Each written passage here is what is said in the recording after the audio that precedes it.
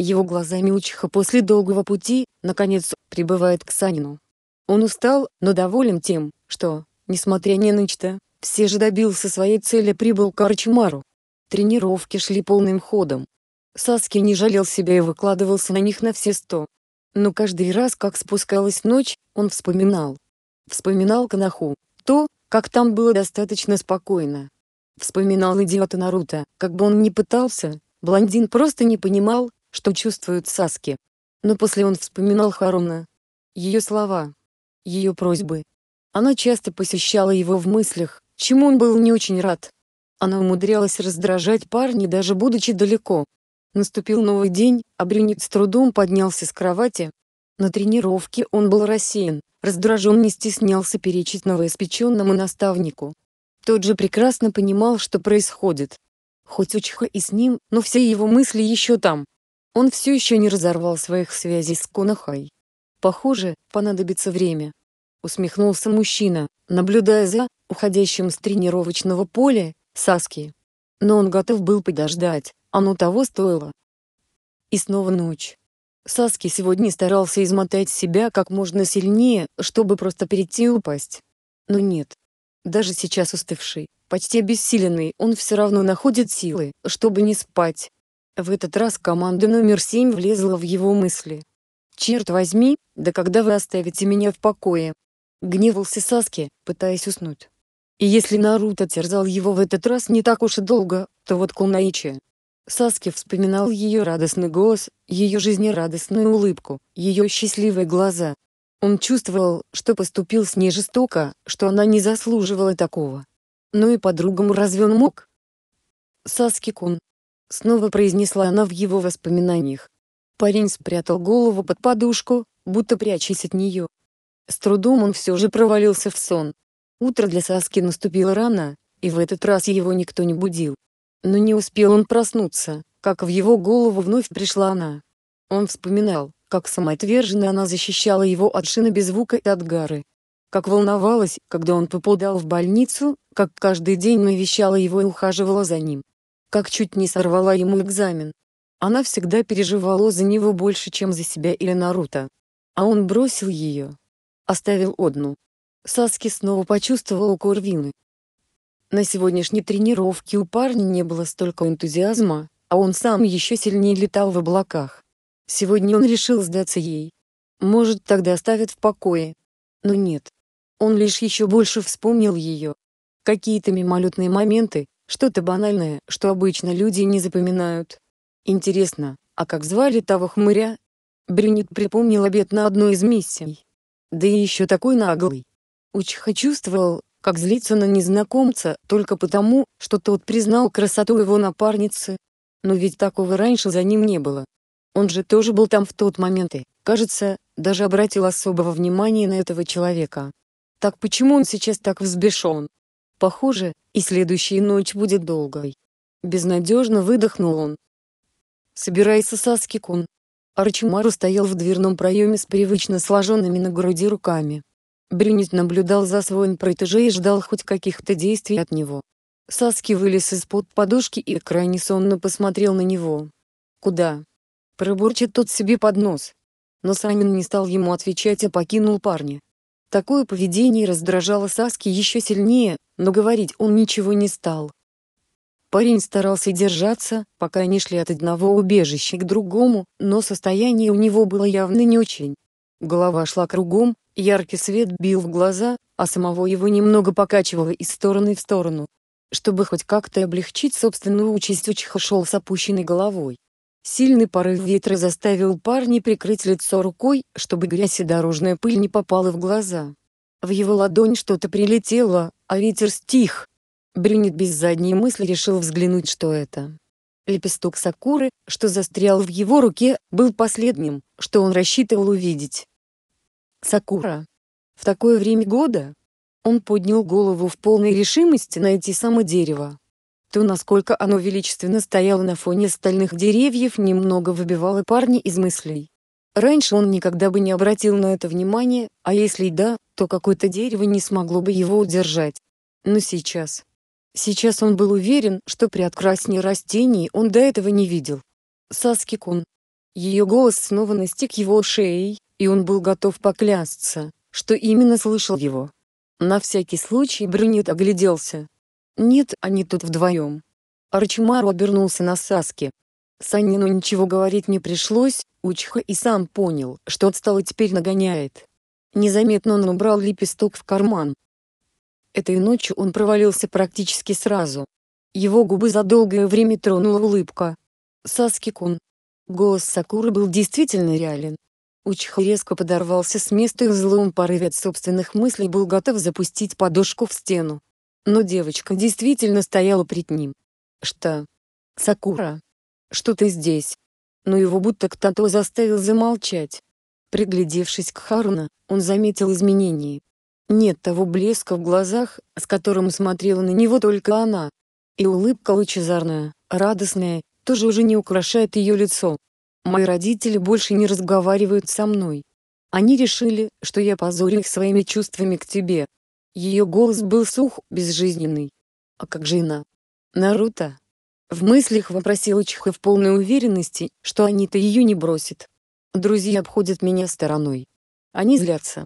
Обиделись, что я выбрала тебя, а не их. Вышло так, как я тебе сказал. Без тебя я осталась одна. Она опустила голову и обняла себя руками. В проеме его комнаты появился Итачи, и Саски даже не подумал, откуда эти двое могли узнать, где он. Его волновало совершенно другое. Сакура. Сакура. Но сколько бы он ее ни звал, она не слышит его, а Итачи уже практически подошел к ней. Тогда он все сделает сам. Он сам защитит ее. И тут Саски с ужасом понимает, что он не может и пальцем пошевелить. Страх быстро перерос в настоящую панику, а каждая его попытка хоть как-то шевельнуться была все отчаяннее. Итачи уже буквально стоял за спиной девочки, а та все так же неподвижно смотрела в пол. Ее тело дрогнуло. «Саски. Кун». Так же, как и в тот раз в Канохе протянула она. Ее глаза начали закрываться, а сама она беспомощно падать. Нет. Нет. Саски распахнул глаза. Он все еще в той же комнате, но здесь темно и тихо. Он тут один. Точно один. Его глаза медленно изучали доступный периметр. Да, точно. Сердце бешено колотилось, дыхание все никак не могло прийти в норму, а в висках пульсировала боль, что отдавала в глаза. Я должен забрать эту доставучую Кунаичи с собой. Он полон решимости и никто его не остановит. Ее глазами Сакура уже не раз пожалела, что отправила Наруто одного, что не пошла с ним. Что тогда не остановило Саски? Он ушел, и Кунаичи ощутила изменения. Вроде все то же самое. Друзья, учители, дом. Но все равно пусто. Неуютно. Холодно. И одиноко, очень одиноко. Как там Саски? Вдруг он ранен и нуждается в помощи. Вдруг Арчимару еще исполнил задуманные Саски еще нет? Нет. Нет, нет и еще раз нет. Саски не дурак. Ему хватит ума обхитрить змеи и получить от него то, что ему нужно. А когда он выполнит свою миссию, он обязательно вернется домой. Вернется, и все будет как прежде. Конечно, Сакуре было обидно, что он не поверил в нее, что оставил в деревне, когда та была готова помочь ему любой ценой, но она уже не злилась на него. А вот на себя. Она станет сильнее, и тогда ему придется считаться с ее мнением. Она пообещала это Наруто, но прежде всего самой себе. Завтра ее ждала очередная тяжелая тренировка с Цунадисама, а ей все не спалось. Воспоминания с новой силой одолели ее. На первой же их совместной миссии вне деревни он защитил ее. Тогда она совершенно не понимала, насколько не подготовлена, но он был рядом. Как же она тогда испугалась, что он умрет. Сейчас это все казалось таким далеким, словно в другой жизни. А экзамен? Тогда он впервые похвалил ее за наблюдательность. Тогда ей впервые было так страшно, но он был рядом и защитил их обоих от смерти. Тогда она впервые смогла хоть что-то сделать и для него. Она смогла хоть как-то защитить их с Наруто, пожертвовав своими волосами.